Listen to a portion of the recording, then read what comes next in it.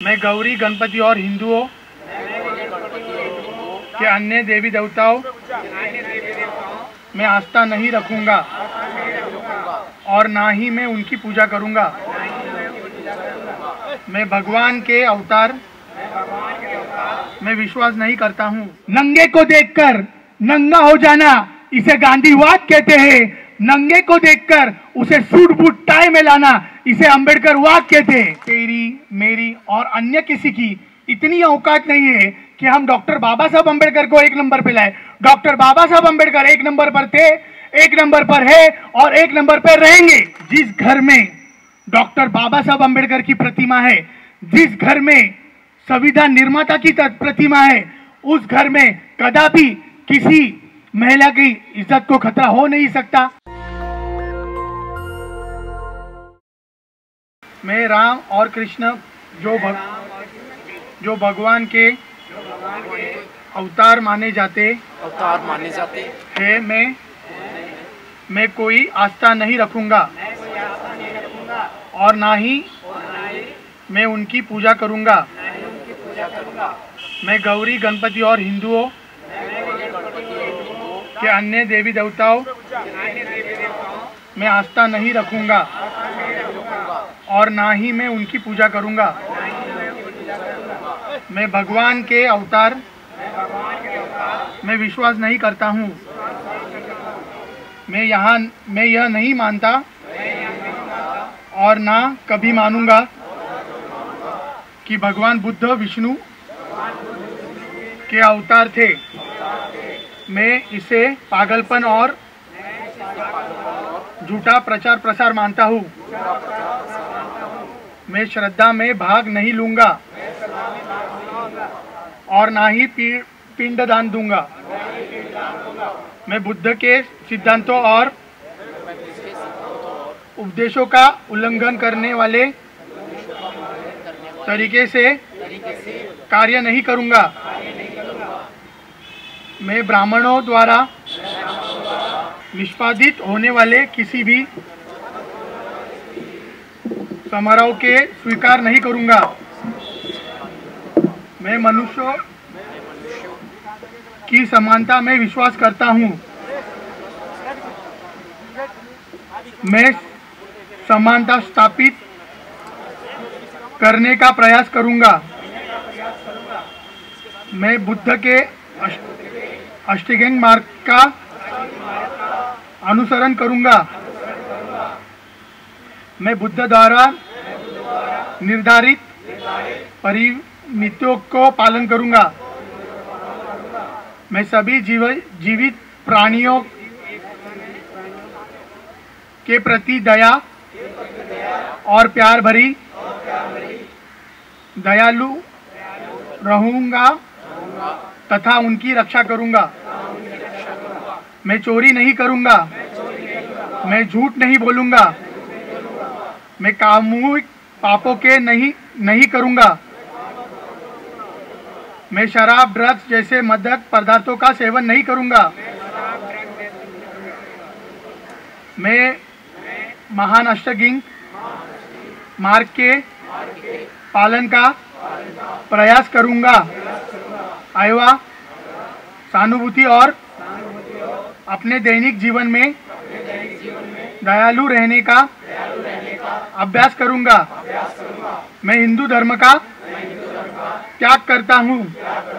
मानवता के लिए हानिकारक है और उन्नति और मानवता के विकास में बाधक है, क्योंकि यह असमानता पर आधारित है और स्वयं धर्म के रूप में बौद्ध धर्म का धर्म को अपनाता हूँ। मैं दृढ़, दृढ़ता के साथ ये विश्वास करता हूँ कि बुद्ध का धर्म ही सच्चा धर्म है। मुझे विश्वास है मैं फिर से जन्म ले रहा हूँ। मैं गंभीरता से एवं दृढ़ता के साथ घोषित करता हूँ कि मैं इसके बाद अपने जीवन का, बुद्ध के सिद्धांतों व शिक्षाओं, एवं अनेक धम्म के अनुसार मार्गदर्शन करूँगा साधु। आप में से कोई मुझे बता सकता है कि गांधी जी की वेशभूषा क्या है देखिए, यहाँ पे थोड़े बुज़ुर्ग इंसान जो है, उन्होंने शायद गांधी जी को देखा भी होगा। उन्होंने कहा कि नग्न अवस्था में मतलब उनका नग्न अवस्था में आपको बताता हूँ, धोती और जनोई, यही सबने देखा है। पर आप में से किसी को पता नहीं होगा कि गांधी जी भी एक समय सूट बूट, टाई पहनकर इस भारत देश में आए थे। अब ये जो परिवर्तन जो उनमें हुआ, सूट बूट, टाई से लेके वो अर्धनग्न अवस्था में कैसे आए, ये मैं आपको आज बताने जा रहा हूँ। देखिए गांधी जी अपनी बैरिस्टर की पढ़ाई विदेश से करके भारत आए। डॉक्टर बाबा साहब अंबेडकर भी अपनी बैरिस्टर की पढ़ाई विदेश में करके भारत आए। गांधी जी के बदन पर भी सूट बूट टाए था। डॉक्टर बाबा साहब अंबेडकर के भी बदन पर सूट बूट टाई था। गांधी जी ने सोचा कि इसके बाद का जो मेरा जीवन है मुझे भारत में ही बिताना है। क्यों ना फिर मैं एक भारत का दौरा कर लूँ और देखूँ यहाँ के लोग कैसे हैं। गांधी जी भारत का दौरा करते हैं, देखते हैं, भारत की स्थिति तो बहुत ही नाजुक है।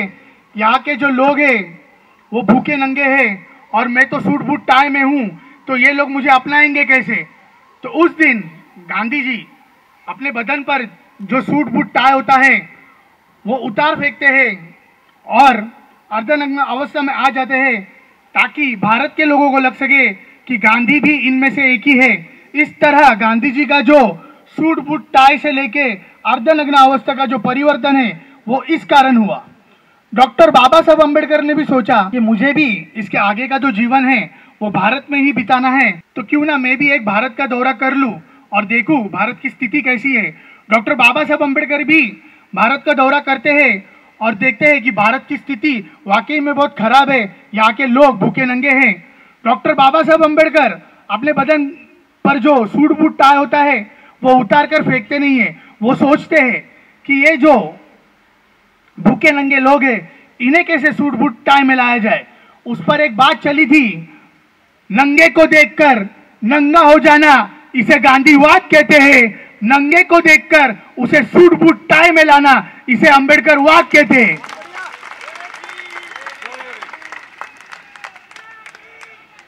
देखिए, मार्च 2020 में लॉकडाउन घोषित हुआ और कुछ ही दिनों में अंबेडकर जयंती आने वाली थी।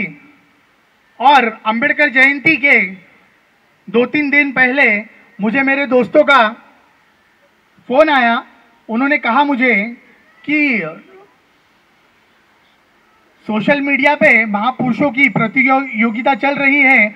उस पर उस पर डॉक्टर बाबा साहब अंबेडकर ये दूसरे क्रमांक पर है। तो हम सब दोस्त मिलकर डॉक्टर बाबा साहब अंबेडकर को पहले क्रमांक पर लाने जा रहे हैं। तो तू भी हमारी मदद करके डॉक्टर बाबा साहब अंबेडकर को, मत करके डॉक्टर बाबा साहब अंबेडकर को एक नंबर स्थान पे लाने में हमारी मदद कर। मैंने मेरे दोस्त को कहा तेरी, मेरी और अन्य किसी की इतनी औकात नहीं है कि हम डॉक्टर बाबा साहब अंबेडकर को एक नंबर पे लाए। डॉक्टर बाबा साहब अंबेडकर एक नंबर पर थे, एक नंबर पर है और एक नंबर पर रहेंगे। और ये बोलकर मैंने, मैं अपना फ़ोन रख दिया। देखिए, मैं जहाँ पर भी जाता हूँ तो मुझे पीने के लिए बिस्लरी पानी दिया जाता है, अभी भी दिया गया है। एक जमाना था जब हमें पानी पिया नहीं दिया जाता था और उस जमाने में डॉक्टर बाबा साहब अंबेडकर ने महाड़ के चौधार तले पे जो आंदोलन किया, उसी के कारण आज मुझे बिस्लरी का पानी मिलता है। ये सिर्फ़ डॉक्टर बाबा साहब अंबेडकर की बदौलत है कि आज हमें आप लोगों को अच्छा पानी अच्छे तरह से मिलता है। नहीं तो एक जमाना था कि हमें कुत्ते बिल्ली से भी गंदी वार्तालुक दी गई है कि हमें ये पानी फेंक कर दिया जाता था, तालाब से पानी पिया नहीं दिया जाता था। और आज ये बाबा साहब अंबेडकर के उपकार है हम सब पे कि आज हमें बिस्लरी का पानी पीने मिल रहा है।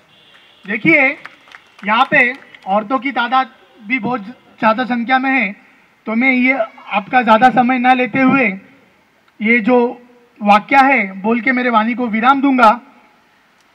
देखिए, एक मुंबई में एक मोहल्ले में एक बहुत ही खूबसूरत लड़की रहा करती थी और वो रोड साइड रोमियो होते हैं, वही एरिया के, वो उसके ऊपर बुरी नज़र बनाए हुए थे। और बम्बई में एक दिन दंगे भड़कते हैं और वो जो रोड साइड रोमियो होते हैं वो लड़के, वो लड़की के साथ कुछ गलत करना चाहते हैं तो दंगों का फ़ायदा उठाकर वो लड़के उस लड़की के घर घुस जाते हैं और वो लड़की को, उन लड़कों का इरादा पता होता है, वो लड़की उन लड़कों को धक्का देकर घर से बाहर निकलती है और रास्ते पे भागते हुए चली जा रही है और भागते भागते एक गली में से उसको एक उजाला दिखता है।